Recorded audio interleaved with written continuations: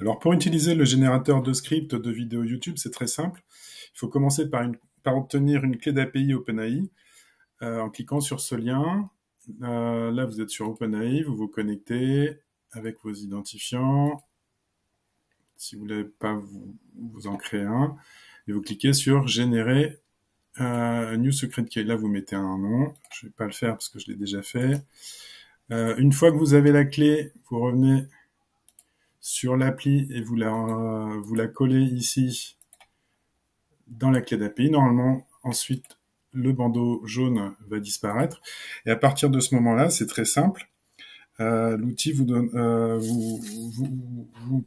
l'outil vous permet de saisir le thème en fait de la vidéo que vous, que vous souhaitez faire.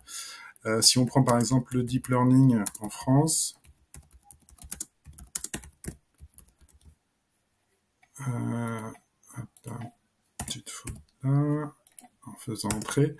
Euh, L'outil va vous donner d'abord un titre pertinent pour euh, en, rapport avec votre thème, et puis un script de vidéo.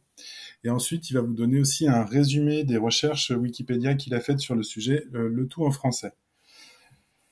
Donc cet outil, voilà, là, il vous donne le, résumé, le script.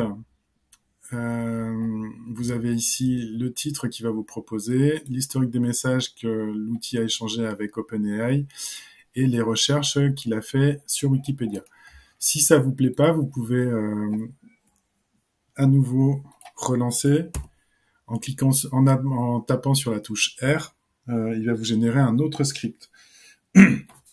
Euh, donc, si cet outil vous a aidé et vous a fait gagner du temps, bah, vous, pouvez prendre deux minutes pour soutenir son développement en cliquant sur le bouton ici offrez-nous un T.